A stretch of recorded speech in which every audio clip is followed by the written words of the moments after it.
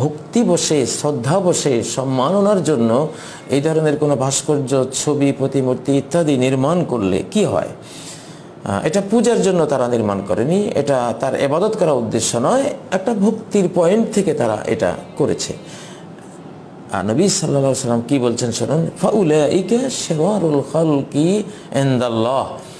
যারা কাউকে ভক্তি জানাবার জন্য, শ্রদ্ধা জানাবার জন্য এই ধরনের কোনো ভাস্কর্য, প্রতিমূর্তি, ছবি যারা নির্মাণ করে এরা সেরারুল খালকি সমগ্র সৃষ্টি জগতের মধ্যে সর্বনিকৃষ্ট এন্দাল্লাহ, আল্লাহর কাছে ইয়ামাল কিয়ামাহ কিয়ামতের দিনে।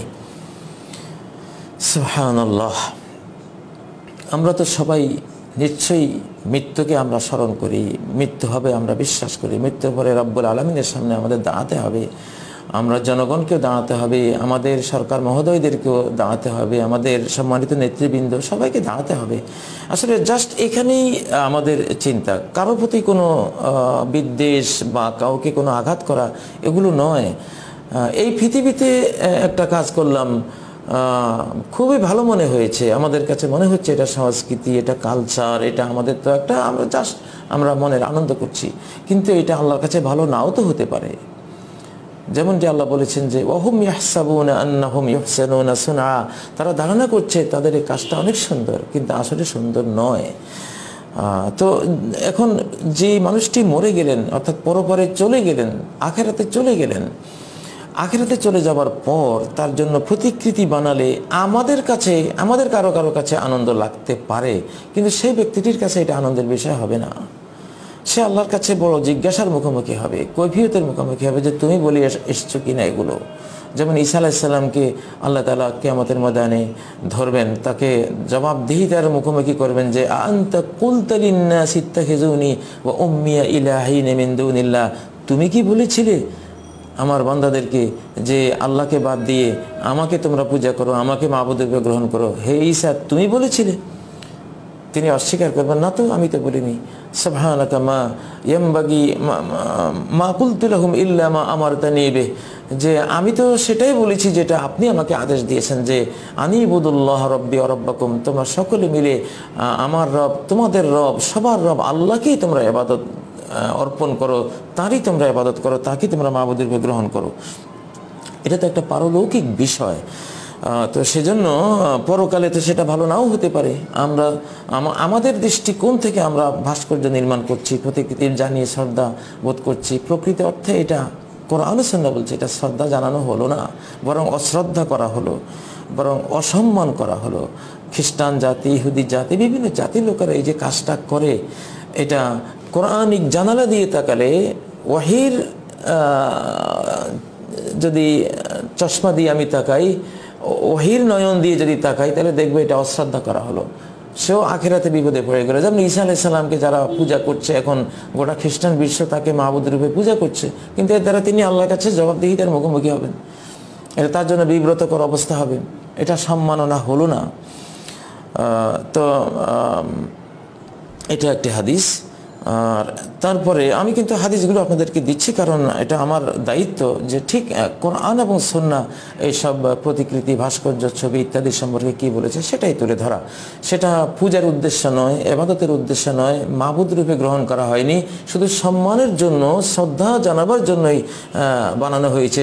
সেখানেই রসুল্লাহ সাল্লা সাল্লামের উক্তি সাহি বুখারির চারশো সতেরো নম্বর, সাহি মুসলিমের পাঁচশো আঠাশ নম্বর হাদিসে যে, ফাউলাইকা শেরারুল খালকি ইনদাল্লাহ। ফাউলাইক মানে তারা, শেরারুল খালকি, খালকে মানে মাখলুকাত, সমস্ত মাখলুকাতের মধ্যে এরা সেরার সেরার মানে নিকৃষ্ট, খারাপ, ইনদাল্লাহ, আল্লাহর কাছে ইয়মাল কিয়ামা, কেয়ামত দিবসে। এবার আরেকটি হাদিস নিয়ে আসছি সাইদ ইবনে আবিল হাসান থেকে। কলা কুন্তু এন্দা ইবনে আব্বাস রদি আল্লাহ তালা আনহুমা। তিনি বলছেন যে, আমি ইবনে আব্বাস রদি আল্লাহ তালা আনহুমার কাছে ছিলাম। ইজ আতাহু রাজুল, হঠাৎ ইবনে আব্বাস রাইসের মুফাসসিরিন তার কাছে একজন মানুষ আসলে, ফকল ইয়া আবা আব্বাস। সে এসে বলল, হে আবু আব্বাস, ইন্নি ইনসানুন, যে, আমি একজন মানুষ আমি আমার হস্তশিল্প থেকেই আমি জীবিকা নির্বাহ করে থাকি ও ইন্নি আসনাও হাজিহি তাসাবির আমি এসব ছবি নির্মাণ করি, অঙ্কিত ছবি, হাত দিয়ে আর্ট করি, ছবি তৈরি করি, বা কোনো পাথরে, বা কোনো কিছুতে আমি প্রতিকৃতিগুলো নির্মাণ করি এটা আমার জীবিকার একটা বাহন, আমি জীবিকা নির্বাহ করি, এই ছবি প্রতিকৃতি ভাস্কর্য তৈরি করে করে। ফকাল ইবনু আব্বাস, লা উহাদ্দিসুকা ইল্লা মা সামাইতু রাসূলুল্লাহ সাল্লাল্লাহু আলাইহি সাল্লাম। তখন ইবনু আব্বাস বললেন যে, আমি রাসূলুল্লাহ সাল্লাল্লাহু আলাইহি সাল্লামের কাছে যা শুনেছি, তোমাকে শুধু তাই বলব, এর বাইরে আমি কিছুই বলব না। এটা দায়িত্ব, কারণ আমি কেন কথা বলব? এটা দিন হলো আল্লাহর, দিন হলো আল্লাহর রসুলের। আল্লাহর দিন নিয়ে এটা দিন উল্লাহ দিন উল্লাহর মধ্যে কোনো ঝগড়া বিবাদ বা যদি মতবিরোধ তৈরি হয়, আল্লাহ নিজে বলেছেন সৌরা আননিসার উনষাট নম্বর আয়াতে যে ফারুদ্দু হইল্লাহি ওর রসুল।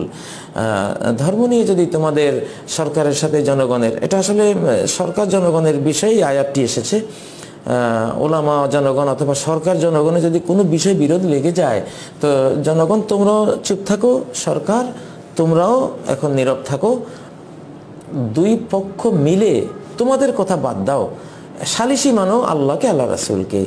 আল্লাহ কি বলেন তার কোরআনে, রাসুল কি বলেন তার হাদিসে, এটা শোনো। শুনে, সেটা মেনে নাও। যালিকা খৈরুন ও আহসানু তাওয়িলা। এটা অনেক সুন্দর, অনেক উত্তম। ও আহসানু তাওয়িলা এবং পরিণতির দিক থেকে এটা সুন্দর। অনেক সৌন্দর্যমণ্ডিত বিষয় যে দুই পক্ষ নীরব হয়ে সালিসি মানবে আল্লাহকে আল্লাহ রাসুলকে, তারা যে ফেসলা দেন কোরআনে শুননায় যেহেতু কোরআনও আছে আমাদের হাতে, হাদিসও আছে, তাহলে তার কোনো এখানে তর্কের বা মতবিরোধের কোনো বিষয় থাকে না। আচ্ছা তো ইবন আব্বাস সেটাই বললেন যে আমি রসুল্লাহ সাল্লা সাল্লামের কাছে যা শুনেছি সেটাই বলব, এর বাইরে আমি কিছু বলব না। ইয়াকুল, সামেতুহু ইয়াকুল, আমি তাকে বলতে শুনেছি, মন সৌরা সৌরাতান যে ব্যক্তি কোনো প্রতিকৃতি তৈরি- করবে, কোনো ভাস্কর্য ছবি নির্মাণ করবে নিজ হাতে অঙ্কিত ছবি, কিন্তু কোনো ক্যামেরার সাহায্যে যদি ছবি হয়, সেটা আসলে অঙ্কিত ছবি হয় না। ক্যামেরার ছবিগুলো হলো, আমি যেমন, আমি আল্লাহর সৃষ্টি, আমি মাখলুকটা যেমন, আপনি আমাকে, আপনি নিজ হাতে অঙ্কিত করেননি। বরং আমারই একটা রিফ্লেকশন আপনার ক্যামেরা ধারণ করে নিয়েছে। যেমন পানিতে আমার ছবিটা পড়ে, আয়নাতে যেমন আমার ছবিটা পড়ে, ক্যামেরার বিষয়টা ওই রকম সেজন্য অধিকাংশ ওলামাইকেরাম সেটাকে ভিন্ন নজরে দেখেছেন। সেটা একটা পানি আর গ্লাসের ছবির মতো, সেটা কিছু না। বা টেলিভিশনে বা এখন যেটা আপনারা দেখতে পাচ্ছেন, এগুলো আসলে ওই ছবি নয় ওই ভাস্কর্য নয়, ওই প্রতিমূর্তি নয়, যেগুলো নিয়ে কোরআন সন্না প্রচণ্ড ক্ষিপ্ত বা যেটা সর্বনিকৃষ্ট সৃষ্টিরূপে আল্লাহর কাছে পরিগণিত হবে বলে হুমকি দেয়া আছে। তো এখানে নবীজি বলেছেন মনসাওয়ারা সুরতান যে ব্যক্তি কোনো প্রতিকৃতি ভাস্কর্য ছবি নির্মাণ করবে আল্লাহ তাকে শাস্তি দিবেন। যতক্ষণ না সে, তার তৈরি সে ভাস্কর্যে, সেই প্রতিকৃতিতে, সেই মূর্তিতে সে ছবি ফুঁকে না দেবে রূহ ফুঁকে না দেবে। তুমি যখন এটা প্রতিকৃতি বানিয়েছো, ভাস্কর্য বানিয়েছো এটা ছবি এঁকেছো, এখানে আত্মা দাও, রুহ দাও। ওলাইসা বেনাফিখিন ফিহা আবাদান। সে কশ্চিন কালেও তার তৈরি ভাস্কর্য, প্রতিকৃতি, মূর্তি ছবিতে সে রুহ ফুঁকে দিতে পারবে না। অতএব আল্লাহ তাকে জাহান নামে শাস্তি দেবেন। এই কথা, এই হাদিসটি শোনার পরে ওই ব্যক্তিটি, যিনি এই প্রতিকৃতি বা ছবি বা ভাস্কর্য নির্মাণ করে করে জীবিকা নির্বাহ করতেন, সে মানুষের কি অবস্থা হলো দেখুন। ফারবর রজুলু রবওয়াতান শাদীদা। সে একটা দীর্ঘ শ্বাস ফেলল। খুব কষ্টের একটি নিঃশ্বাস লম্বা নিঃশ্বাসে ফেলল। অস্ফর রাজ তার চেহারা হলুদ বর্ণ ধারণ করল ভয়ের ছোটে। ফকল আহ, তখন ইবনে আব্বাস তার এই বিবর্ণ ছবি, মলিন ছবি দেখে বললেন, ওই হাক তুমি ধ্বংস হো ইন আবাইতা ইল্লা আন্তাসনা যদি তুমি এই ভাস্কর্য ছবি নির্মাণ করতেই চাও এটা তোমার পেশা, তোমার নেশা, তোমার এটা জীবিকা, এটা করতে চাও ফালাইকা বেহাজা সাজার তাহলে এই যে গাছগাছালি আছে, গাছগাছালির ছবি নির্মাণ করো, যেগুলোতে আত্মা নেই, যে আত্মা আল্লাহ তালা প্রাণীগুলোকে দিয়েছেন এই রুহটা তো নেই। তো সেগুলো তুমি তৈরি করো। বেহাজার সাজার। কুল্লু শাইলাই সাফিয়া রোহন। এমন সকল কিছু ছবি অঙ্কন করতে পারবে যেগুলোতে রুহ নেই। পাহাড়, নদী, খাল, বিল, এগুলো। কিন্তু কোনো প্রাণীর ছবি তুমি নির্মাণ করবে না। এই হাদিসটি সাহি বখারিতে রয়েছে। দু হাজার একশো বারো নম্বর হাদিস রূপে। সাহি মুসলিমে রয়েছে দু হাজার একশো দশ নম্বর হাদিস রূপে। বর্ণনা সূত্র বিশুদ্ধ। তিন নম্বর হাদিস হল আবদুল্লাহ মাসুদ রাদি আল্লাহ তালাহর হাদিস, কল সামিতুল নবী সাল্লাহ আলহি ওয়াসাল্লাম ইয়াকুল, যে আমি নবী সাল্লাহ সাল্লামকে বলতে শুনেছি, তিনি বলছেন, ইন্না আসাদ্দান্নাসে আজাবান ইন্দাল্লাহ ইয়ম আল কিয়াম আল মুসাউরুন কেয়ামতের ময়দানে সবচেয়ে কঠিন শাস্তি তাদের হবে যারা সুরত আকৃতি নির্মাণ করে আল্লাহর কোনো সৃষ্ট প্রাণীর। সুরত, আকৃতি, প্রতিকৃতি, ভাস্কর্য যাই বলেন, সেটা পাথরে বানান, মাটিতে বানান, সেটা কোনো কাগজের উপরে আপনি কলম দিয়ে অঙ্কন করেন, অথবা কোনো প্লাস্টিক দিয়ে নির্মাণ করেন, যেটা দিয়ে একই জিনিস এগুলো, তো এগুলো যারা নির্মাণ করবে, কেয়ামতের ময়দানে সবচেয়ে কঠিন আজাব তাদের হবে আল মুসাউরুন এই হাদিসটি রয়েছে সাহি বোখারি, পাঁচ হাজার ছয়শো ছয় নম্বর হাদিস রূপে। হাদিসটি রয়েছে সাহি মুসলিমেও দু হাজার একশো নয় নম্বর হাদিস রূপে। চতুর্থ হাদিস আব্দুল ইবনে ওমর রদি আল্লাহ তালাহ থেকে বর্ণিত হয়েছে। ভাস্কর্য, প্রতিকৃতি বা ছবি, যাই বলেন, অঙ্কিত ছবি, হস্তাঙ্কিত ছবি, এগুলোর বিষয়ে।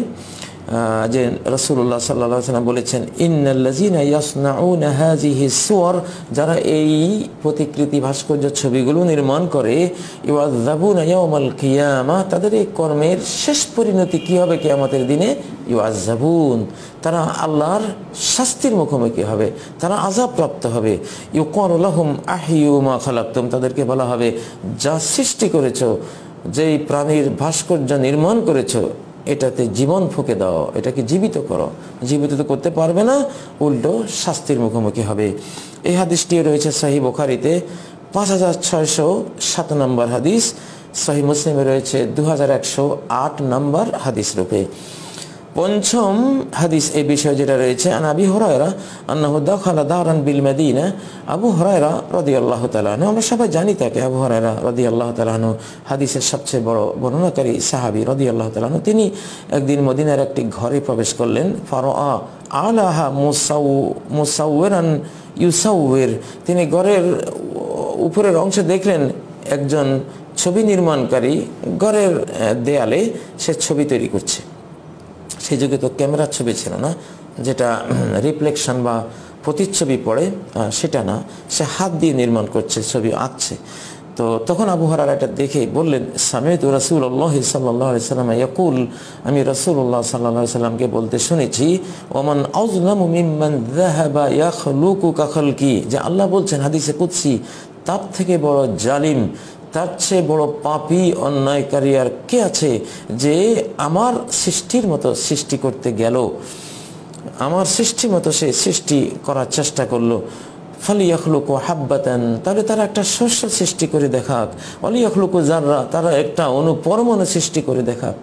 আমরা কি কোনো আসলে কিছু সৃষ্টি করতে পারি? আমরা রূপান্তর করি। আল্লাহর দেয়া সৃষ্টিকে নিয়ে আমরা রূপান্তর করতে পারি, সৃষ্টিত করতে পারি না। তো যেহেতু প্রাণীকে ছবি অঙ্ক, অঙ্কন করা, হাত দিয়ে বা কোনো তার প্রতিকৃতি বা ভাস্কর্য নির্মাণ করা প্রতিমূর্তি তৈরি করা আল্লাহ তালা একেবারে পছন্দ করেন না। এটাকে তিনি তার সৃষ্টির সাথে চ্যালেঞ্জ করা হচ্ছে বলে তিনি মনে করছেন। যেহেতু তিনি আমাদের রব, তিনি আমাদের আল্লাহ। আমরা আমাদের বিবেক দিয়ে কিছু বোঝার চেষ্টা করা, এখানে ভিন্ন কোনো বুঝ, বোঝার চেষ্টা করাটা অন্যায়।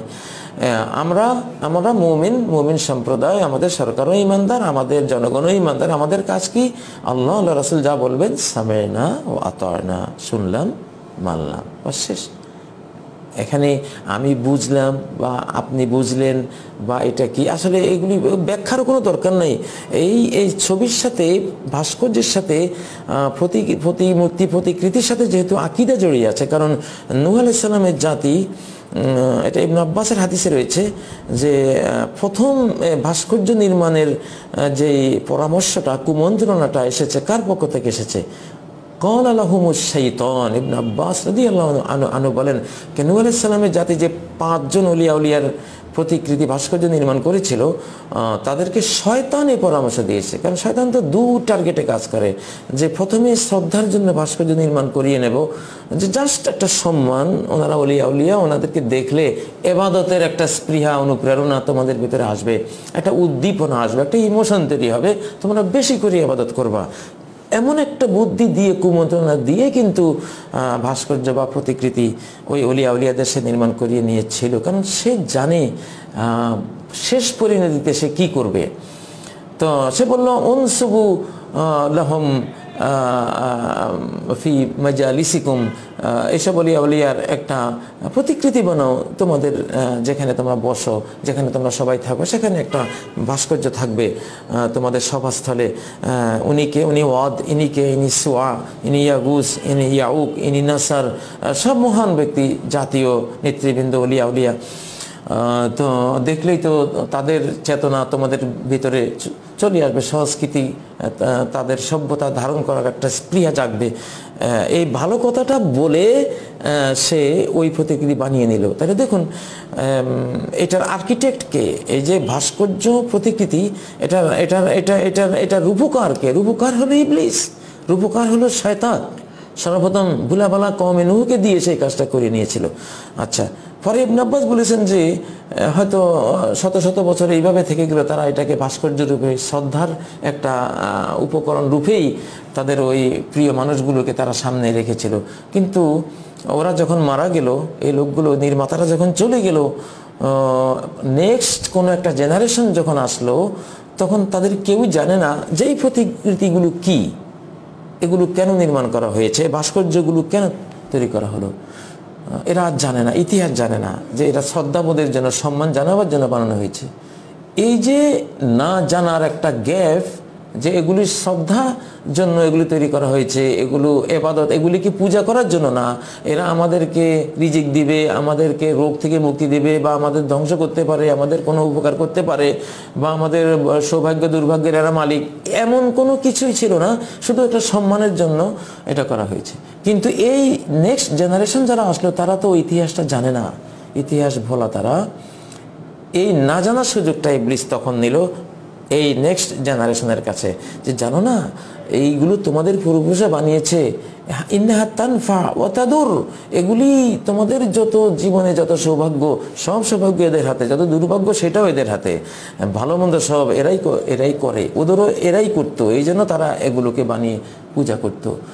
এই মূর্খতার সুযোগ নিয়ে বাস তাদেরকে এবাদতের মধ্যে ফেলে দিল। পূজায় লিপ্ত করে দিল। এখন যেটা ছিল ভাস্কর্য, শ্রদ্ধার জন্য সেটা হয়ে গেল এখন এবাদতের এবং পূজনীয় মূর্তি। একদম আল্লাহর সাথে শরিক করে ফেলল। তো এভাবেই স্টেপ বাই স্টেপ ইবলিস মানুষকে গোমরা করে। হঠাৎ করে সে গোমরা করতে পারে না। তো যেহেতু এই ভাস্কর্য প্রতিকৃতি ছবির হাত ধরেই ইবলিস মানব জাতির কোটি কোটি কোটি মানুষকে চিরস্থায়ী জাহান্নামি বানিয়ে দিয়েছে। এই জন্য সাদ্দান লেজারিয়াতে শির্ক। ওলামাই কেরামের পরিভাষায় যে, এটা যদিও প্রতিকৃতিটা শিরিক না প্রতিকৃতিটা যদিও মূলত খারাপ ছিল না, আগের সরিয়া এগুলো বৈধ ছিল, এগুলো মূলত খারাপ ছিল না। কিন্তু খারাপ হয়ে গেছে অন্য একটা কারণে, যে এটা যদি এখন অনুমতি দেওয়া হয়, আস্তে আস্তে কমেনও যেভাবে এগুলোকে এক পর্যায়ে পরে পূজনীয় মূর্তি বানিয়ে নিয়েছিল, প্রথমে শ্রদ্ধার উদ্দেশ্যে নির্মাণ, পরে পূজার উদ্দেশ্যে এগুলোর জন্য শুরু হয়ে গেল যাত্রা, এতে কাপ, এগুলি চারপাশে বসা, তোয়াপ করা পুষ্পস্তবক অর্পণ করা, একেবারে এদের কাছে সন্তান কামনা করা, এদের কাছে রোগ মুক্তি কামনা করা, এদের কাছে নির্বাচনে বিজয় কামনা করা, এদের কাছে সৌভাগ্য কামনা করা শুরু হয়ে গেল। যেখানে আল্লাহ বলেছেন ফালাতাদুমা আল্লাহ আহাদা আল্লাহর সাথে কাউকে শরিক করো না। সেখানে শুরু হয়ে গেল সমস্ত দোয়া, প্রার্থনা, এমনকি হৃদয়ের সবটুকু ভক্তি, শ্রদ্ধা শ্রদ্ধা এদেরকে উজাড় করে দেয়া শুরু হয়ে গেল। তাহলে এই ভাস্কর্য যদিও আপাত দৃষ্টিতে মূল শরীয়তে আগের যুগে এগুলো খারাপ ছিল না। এগুলো খারাপ উদ্দেশ্যে কেউ বানায়নি কিন্তু পরিণতিটা খারাপ হয়ে গেছে। পরিণতির বিচারে এই জন্য আপাত দৃষ্টিতে ভালো জিনিস হলেও পরিণতি যেখানে খারাপ হয় সেটার কারণে পরিণতির খারাপ পরিণতি থেকে বাঁচাবার জন্য শরিয়া আপাত ভালো যেটা সেটাকেও নিষেধ করে দেয়। সাদ্দাম রেজারিয়া তো এটা শরীর একটা মূলনীতি। আহ, তো সেজন্য মূলত আসলে এগুলো ভাস্কর্য যদিও শুরুতে এগুলি বৈধ ছিল, কিন্তু এটাকে কেন্দ্র করে শয়তান যেহেতু মানুষকে বিশালভাবে মানব জাতির অধিকাংশ মানুষকে জাহান্নামি বানিয়ে ছেড়ে এসেছে এই প্রতিকৃতি ভাস্কর্যের পথ ধরে এগুলোকে মূর্তি, মূর্তিতে রূপান্তরিত করে। তো সেজন্য আর কি শরিয়া এগুলি আসলে একবারে নিষেধ। দরকারই নেই। যেটা করতে গেলে এক সময় কোনো একটা জেনারেশন বিভ্রান্ত হয়ে যেতে পারে শিরকের মতো মহাপাপে পড়ে যেতে পারে, সেটা দরকারই নেই। শুরু থেকে এটাকে বন্ধ করে দাও। শুরু থেকে এটাকে বন্ধ করে দেওয়া আমাদের বাস্তব সমাজেও তো আমরা অনেক কাজ করি, যেটা হয়তো কাজটা খারাপ না, কিন্তু এটা করতে গেলে আরেকটা খারাপের জন্ম হয়ে যাবে এবং শেষ পরিণতিতে এটাকে খারাপের দিকে নিয়ে যাবে। তো সেজন্য এটা আসলে শরিয়ায় তখন একেবারে শুরু থেকে এটাকে বন্ধ করে দেয়। তো সেরকম। আচ্ছা। আরেকটা এখানে হাদিস রয়েছে। আবু জোহাই ভারাদি আল্লাহ তালন থেকে ছয় নম্বর হাদিস। যে, এখানে রয়েছে ওলা আনাল মোসাউর নবী সাল্লাহ সাল্লাম প্রতিকৃতি ভাস্কর্য প্রতিমূর্তি নির্মাণকারীদেরকে লানত করেছেন। অভিসম্পাত করেছেন জাহান নাম থেকে বহিষ্কার করে দিয়েছেন আল্লাহর পক্ষ থেকে এই বাণী তিনি শুনিয়েছেন রওয়াহুল বুখার এই হাদিসটি ইমাম বুখারি রওয়াত করেছেন উনিশশো আশি নাম্বার হাদিস আচ্ছা এখানে সাত নম্বর আরেকটি হাদিস রয়েছে আব্দুল ইবনে মাসুদ রদি আল্লাহ তালাহু থেকে قال دخل النبي صلى الله عليه وسلم مكة وحول الكعبة ثلاثمائة وستون নসবান নসবান যে নবীজি মক্কা যখন প্রবেশ করলেন বিজয়ী বেশে, তখন মক্কার চারপাশে ছিল তিনশো ষাট মূর্তি, এটা আমরা সবাই জানি। ফাজা আলাইয়াত আনুহা বেউদিন ফিয়েদিহি তিনি তার হাতে থাকা একটা লাঠি দিয়ে সেগুলোকে খোঁচাচ্ছিলেন। ওয়াজা আলাইয়াকুলার বলছিলেন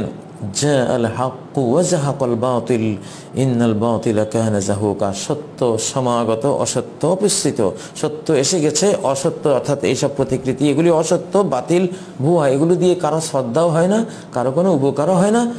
এগুলোর কোনো ক্ষমতাও নাই, অযথাই এগুলো দিয়ে একটা বিরাট বিপর্যয় শিল্পের বিপর্যয় সমাজে নেমে আসে। আচ্ছা। আট নম্বর আরেকটি হাদিস আপনাদেরকে দিচ্ছি। আবুল হাইয়াজার আসাদি রদি আল্লাহ তালাহু থেকে তিনি বলছেন যে, আমাকে আলী ইবনা আবি তলেব রদি আল্লাহ তালাহু বললেন আল্লাহ আবা আসুকা আলামা বাসানি আলাইহ রসুল্লাহ সাল্লাহ সাল্লামা? যে, আমাকে আল্লাহ রসুল যে কাজে পাঠিয়েছেন, আমি কি তোমাকে সে কাজে পাঠিয়ে দেব না? আল্লাহ তাদা তিমসাল ইল্লা তমাস্তা তিমসাল যত ভাস্কর্য, প্রতিমূর্তি যত তৈরির ছবি যেখানে পাবা অঙ্কিত ছবি, যেখানে পাবা তমাস্তা নিচ্ছিন্ন করে দাও ডিলেট করে দাও, এটাকে একেবারে মুছে দাও। ওলা কবরান মুশরিফান ইল্লা সাওয়াইতা, কবরে মুশরিফ, উঁচু উঁচু করা কোনো কবর বা প্রাচীন নির্মিত করা, করে এটাকে তৈরি করা আছে, এক ধরনের, এটাও একটা এটা যদিও নিচে সরাসরি শিরিক না, কিন্তু শিরিকের জারিয়া, শিরিকের উসিলা, শিরিকের একটা উপকরণ অতীতে হয়েছে। কবরকে সম্মান করতে করতে পরে কবরকে একেবারে দেয় করে বসল। কবরকে আল্লাহর সাথে শরিক করে বসল। কবরে গিয়েই একেবারে ছেলে, সন্তান, ব্যবসায়ীর উন্নতি, রোগ মুক্তি, মনের আশা পূরণ সব কামনা শুরু হয়ে গেল। তো যেগুলো কুল্লু সাইন ইউতাজার বিহি ইলা মাহাজুরিন ফাহুয়া মাহাজুরুন ইমাম খাত্তাবি বলছেন শরীর একটা মূলনীতি কোরআন সন্না ঘেটে যেটা ওলামাই কেরাম বের করেছেন যে যেই কোনো জিনিস সেটা হারাম না হলেও সেটা যখন একটা হারামের উসিলা হয়ে যায়, সেটা হারাম হয়ে যায়। সেটা হারাম হয়ে যায়। তো এই হলো কথা। তো এখানে এটা আট নম্বর হাদিস হিসাবে আপনাদেরকে পেশ করলাম।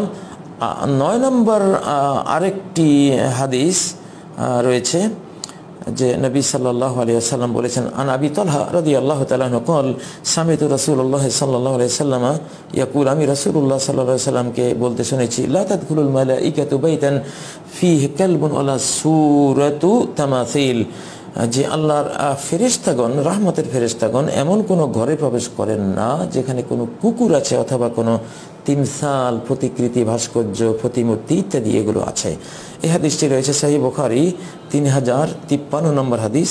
সাহি মুসলিমে রয়েছে একুশশো দু হাজার একশো ছয় নম্বর হাদিস রূপে। দশ নম্বর আরেকটি হাদিস আমাদেরকে শোনাচ্ছি। আর আশাত উমিল মিনিনা রদি আল্লাহ তালা আনহা আয়সা উমুল মিনিন রদি আল্লাহ তালা আনহা থেকে বর্ণিত। তিনি বলছেন যে ইস্তারাতনুম রুকাতান ফিহাতা সাবিদ তিনি একটা চাদর কিনেছিলেন, একটা পর্দা কিনেছিলেন, সেই পর্দার মধ্যে কিছু ছবি অঙ্কিত ছিল, কাপড় দিয়ে, সুতা দিয়ে ছবি করা ছিল। দেখুন, এটা কোনো বডি বডি তৈরি করেনি, তার থেকেও হালকা, শুধু সুতো দিয়ে তৈরি করা। ফালাম্মা আহা রসুল্লাহ সাল্লাহ সাল্লাম রসুল্লাহ সাল্লাহ সাল্লাম যখন এই পর্দাটি দেখলেন কমার আল বাব, তিনি আয়েশা রাদি আল্লাহ তালা আনহার ঘরের দুয়ারে দাঁড়িয়ে গেলেন, ঘরে আর ঢুকলেন না ফালামিয়াত খুলহু সেখানে ঢুকলেন না। ফা আরাফাত ফি ওয়াজিহিল কারাহিয়া, আয়েশা সিদ্দিকা রাদি আল্লাহ তালাহা নবীজির চেহারার মধ্যে খুব অসন্তুষ্টির চিহ্ন দেখতে পেলেন। ফাকুল তুইয়া রসুল আল্লাহ আয়েশা বলছেন, তো আমি তখন বললাম, হে আল্লাহ রসুল আতুবিল আল্লাহ রসুলি আমি আমি আল্লাহর কাছে তবা করছি, আমি আল্লাহ রসুলের দিকে ফিরে আসছি। মাজা আজনাবতু, আমি কি অন্যায় করেছি, কি গুণা করেছি? আপনি দরজা দাঁড়িয়ে আছেন আমার চেহারা বিবর্ণ হয়ে যাচ্ছে। তখন ফকল রসুল্লাহ সাল্লাহ সাল্লাম রসুল্লাহ সাল্লাহ সাল্লাম তখন বললেন, মা ব্যালু হাজি নমরোকা? এই এই চাদর পর্দাটির কি হলো? এটা কেন? কি করে আমার ঘরে আসলো এই ছবিওয়ালা পর্দা? কুলতু ইস্তারাই তুহা লাখ ইয়া এটা আমি আপনার জন্য তো ক্রয় করেছি। লেতাকবদা সেদাহা আপনি এটার উপর বসবেন, মাঝে মধ্যে আপনার বালিশের উপর দিয়ে এটার উপর ঘুমাবেন। ফকল রসুল্লাহ সাল্লাহ সাল্লামা তখন শুনুন নবী সালাম কি বলছেন? তিনি বলছেন, ইন্না সাবা হাজি সুয়ার ইয়ামাল কেয়ামাতি এই ছবিগুলো যারা বানায় বা যারা রাখে, এগুলোকে সম্মান করে, এরা সবাই কেয়ামতের ময়দানে শাস্তির মধ্যে আজাবের মধ্যে পড়ে যাবে, তাদেরকে আজাব দেওয়া হবে। ভাই কল আলহম আহিউমা খালাক তুম এদেরকে বলা হবে, যা সৃষ্টি করেছ এগুলোকে জীবন দাও। হ্যাঁ জীবন দিতে পারবে না, অতএব শাস্তির মধ্যে সে থাকতে হবে তাকে। জীবন না দিতে পারার অপরাধে। ইন্নাল বাইতাল্লাহ জিপি সুয়াল্লাহ তাদগুলুহুল মালা ইকা নবীজি আরও বলেছেন, যেই ঘরে এসব ছবি থাকে, সেই ঘরে ফেরেশতারা প্রবেশ করেন না। প্রিয় ভাই বোনেরা আমাদের মাননীয় সরকার, আমাদের জনগণ, আসলে মুসলিম সমাজে যে কোনো জিনিস নিয়ে হয়তো আমাদের খুব স্পষ্ট আইডিয়া নাও থাকতে পারে বা একটা, আমরা একটা ঝাপসা ধারণায় থাকতে পারি, স্বাভাবিক। এখন এই যুগে এলমেদিনের চর্চা যেহেতু কম সমাজে, এগুলো নিয়ে আমাদের একটা ধান্দা থাকতে পারে। তো একেবারেই কারও প্রতি কোনো, আমরা আমাদের দিক থেকে কোনো কারও উপরে কোনো জিজ্ঞাসা কোনো বিদ্যুৎ ছাপি না দিয়ে একেবারেই আল্লাহর কথা, রসুলের কথা, যেভাবে কোরআনের সুরার নিসার উনষাট নম্বরেতে আল্লাহ পরামর্শ দিয়েছেন যে তোমরা কারোর সাথে কোনো কারও বিরুদ্ধে কোনো উষ্মা প্রকাশ করার প্রয়োজন নেই। তুমি শুধু এই বিতর্কিত বিষয়টাকে আল্লাহর কাছে নাও, রসুলের কাছে না তারা সালিশি করে দেবেন কোরআন এবং সন্না সালিশি করে দিবে। কোরআন সন্না যা বলে সামে না, অতায় না। শুনলাম আর মানলাম। বাস হয়ে গেল। হয়ে গেল। তো এই এই এই জন্য আসলে ভাস্কর্য প্রতিকৃতি সম্পর্কে আমরা দেখলাম যে, কোরআন কি বলছে এবং সন্না কি বলছে। সারা কোরআনেই তো এগুলো নিয়ে কথা বলা হয়েছে। ঋণ যে কোনো উঁচু জায়গা পেলে একটা উঁচু করে সেখানে একটা নিরর্থক একটা নিদর্শন তৈরি করে ফেলো। এটা কি? এগুলোতে কি কাজ হয়? এগুলোতে আসলে তোমরা যেটা ভাবছ, একটা শ্রদ্ধা, সম্মান আসলে হয় না ইতিহাস তো বলে না। কত মানুষের তো প্রতিকৃতি আছে। এটা কোনো সম্মান এনে দিতে পারেনি। ইতিহাসে বরং এই প্রতিকৃতির কারণে তারা অনেক অসম্মানিত হয়েছেন পরবর্তীতে কোনো জেনারেশনের কাছে।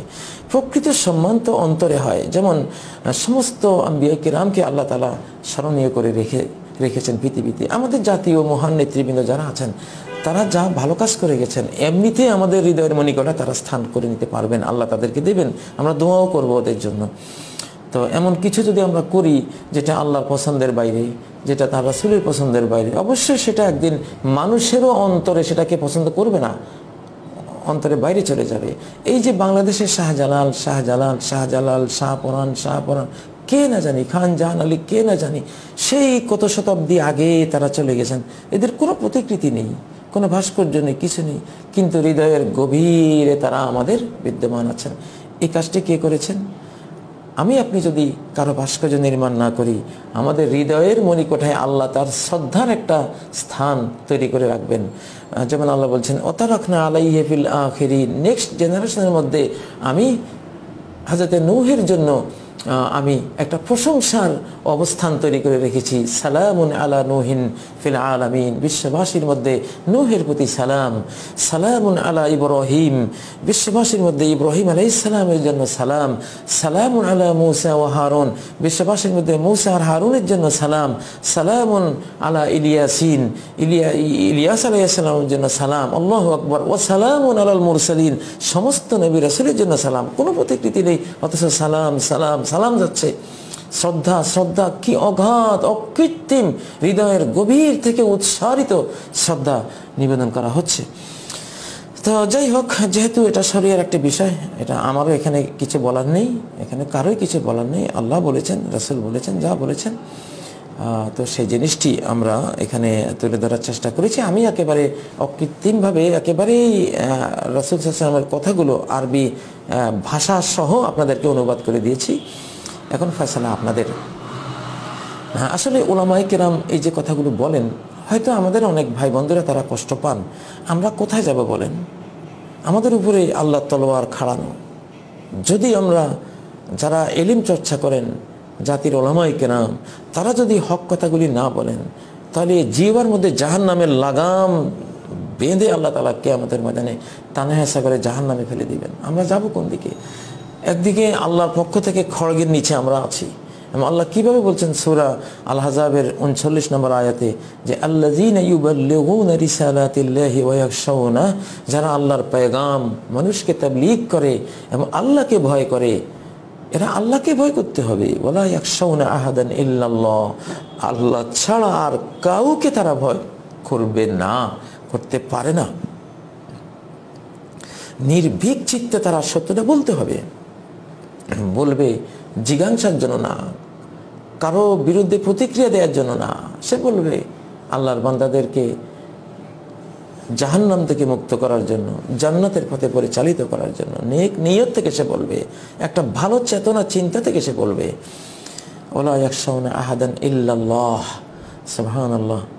ওকাফা বিল্লাহ হাসিবা। তারপর আল্লাহ হুমকি দিচ্ছেন, দেখো, তুমি কি আল্লাহকে ভয় করে সঠিক কথাটা বলেছ? নাকি মানুষকে ভয় করে, আল্লাহকে ভয় না করে আল্লাহ শাস্তিকে ভয় না করে, দুনিয়ার সামান্য ক্ষণিক এই জীবনের শাস্তি সাজা ভয় করে কথা ঘুরিয়ে ফিরিয়ে বলেছ, কি বলেছ? ওকাফা বিল্লাহ হাসিবা। এই হিসাব নেওয়ার জন্য আল্লাহ যথেষ্ট সাফিসিয়েন্ট তিনি হিসাব নেবেন। তাহলে দেখুন কত বড় হুমকি। আমি যদি এক অনু পরমাণু পরিমাণ এই পৃথিবীকে, পৃথিবীর আজকে সাড়ে আটশো কোটি মানুষের কাউকে ভয় করে যদি আল্লাহর দেয়া এই এই এই ধর্মীয় বক্তব্যের মধ্যে একটু আমি ডানবাম করি। আল্লাহ বলতেছেন, আমি তোকে হিসাব নিয়ে ছাড়বো।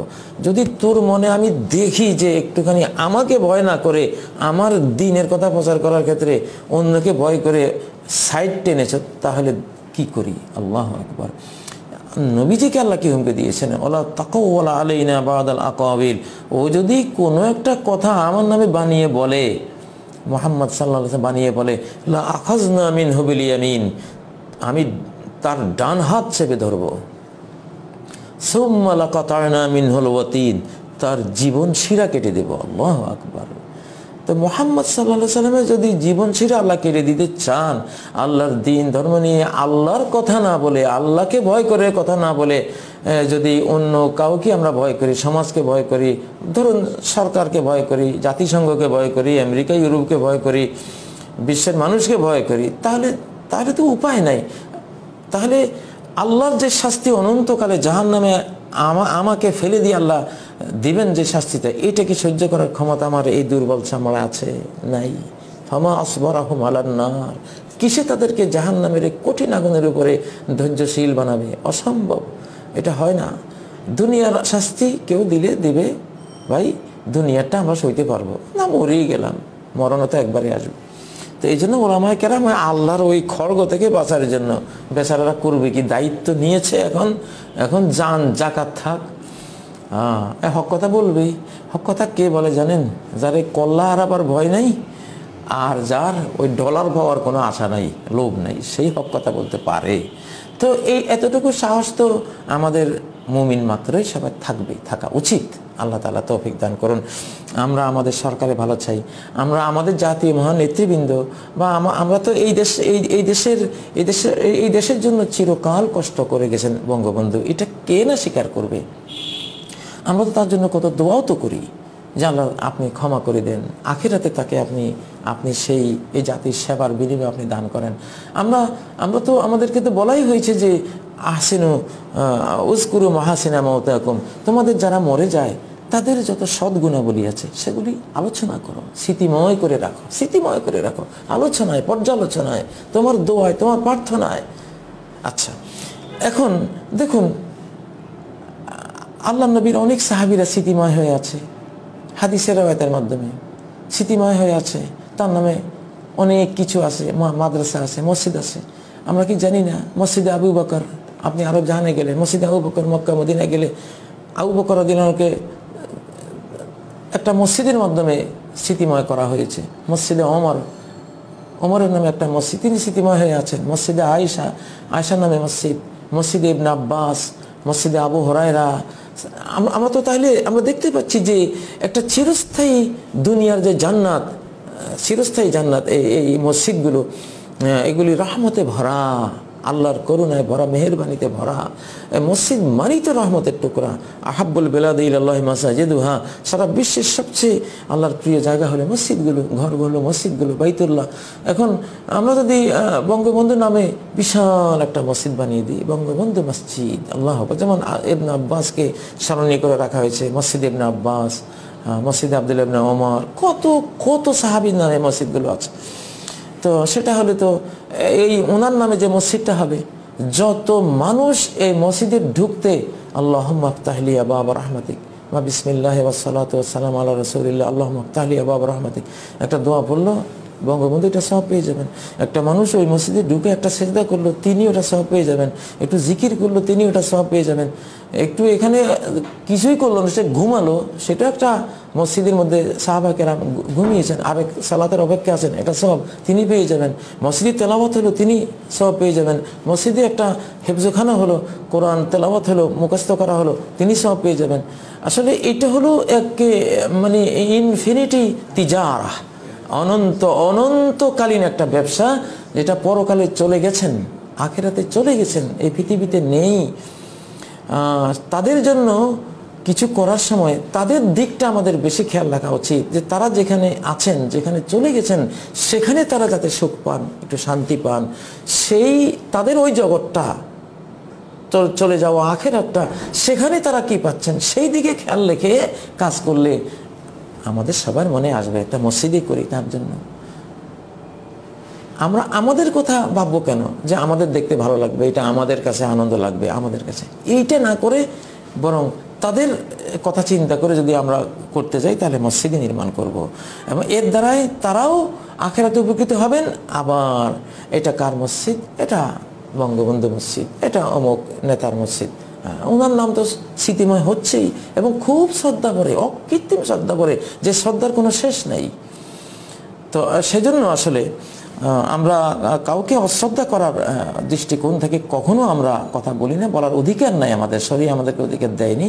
তবে প্রকৃত শ্রদ্ধা কোন পথে হয় সেটা বলে দেওয়ার সাহস অবশ্যই আমাদের রাখতে হবে। এটা সব নবী রাসুলদের এই সাহস ছিল। আমাদেরও থাকতে হবে, আছে ইনশাআল্লাহ। হ্যাঁ এটা আমরা বলব। এবং এটা যখন বলব, তখন আমাদের আমাদের নেতৃবৃন্দরা যদি তাদের, আমাদের কথা মন মতো না হয়, তারা আমাদের উপর রাগও করেন, কোনো ভয় নেই। মানিল তামাসারে দল্লাহে বেসাকাতিন নাস কাফাহুল্লাহ মাউনাতান্না সহি বুখারিতে আয়েশা সিদ্দিকা রাদিয়াল্লাহু আনহার হাদিস, কেউ যদি আল্লাহ সন্তুষ্টি চাওয়ার জন্য মানুষকে বিরাগ, মানুষের বিরাগ বাজান হয় আল্লাহ তালা ওই মানুষকে তার উপর রাগ করে থাকতে দেবেন না। ওই মানুষও একদিন এই মানুষের উপরে সন্তুষ্ট হয়ে যাবে। আল্লাহ সন্তুষ্ট করবেন।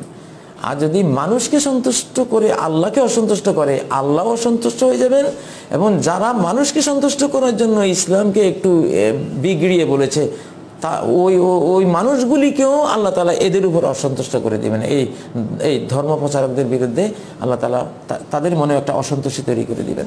অতএব কোনো আসলে সত্য কথা বললে ইনশাল্লাহ নেতৃবৃন্দ আমাদের উপর খুশি থাকবেন। আলিম ওলামারা নির্ভীক চিত্তে আপনারা মানুষকে জান্নাতে নেওয়ার মিশন নিয়ে পৃথিবীতে আছেন। আমাদের সরকারকেও জান্নাতে নিতে হবে, আমাদের নেতৃবৃন্দকেও জান্নাতে নিতে হবে, আমাদের জনগণকেও জান্নাতে নিতে হবে। এই মিশন আমাদের। যার নাম থেকে সবাইকে মুক্ত করতে হবে, আমাদের মুক্ত করার চেষ্টা করতে হবে। সেই জন্য সেই জন্য নির্ভীক চিত্তে কথা বলবেন সকলে, ইনশাআল্লাহ। তবে কোনো রকমের হিংসা, বিদ্বেষ, এগুলি ছড়াবার আমাদের কোনো অপশন নেই, প্রয়োজন নেই। লঙ্ঘিয়ে সিন্ধুরে প্রলয়ের নৃত্যে অবকার তরিধায় নির্ভীক চিত্তে। বাস, এটা হলো শেষ কথা। সুবহানাকাল্লাহুম্মা ওয়া বিহামদিক। আশহাদু আল্লা ইলাহা ইল্লা আনত। আস্তাগফিরুকা ওয়া আতুবু ইলাইক। আসসালামু আলাইকুম ওরহমতুল্লাহি বারাকাতুহু।